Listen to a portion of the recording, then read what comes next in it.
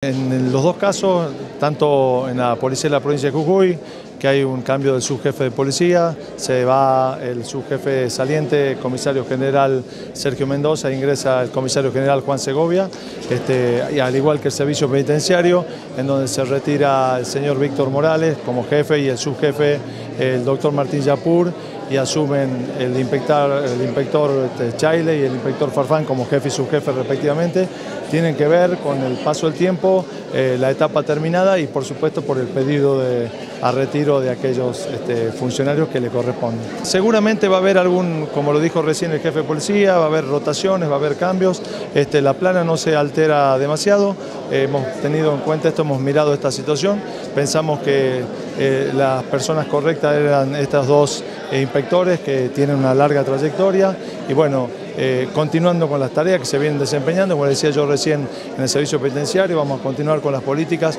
no solamente de, en mejorar los recursos humanos y recursos físicos del servicio penitenciario, que este, tanta falta hacen, sino también con, por supuesto, mejorar todas las calidades de detención dentro de lo que corresponda a aquellos que tienen privación de la libertad que están cumpliendo este, su pena.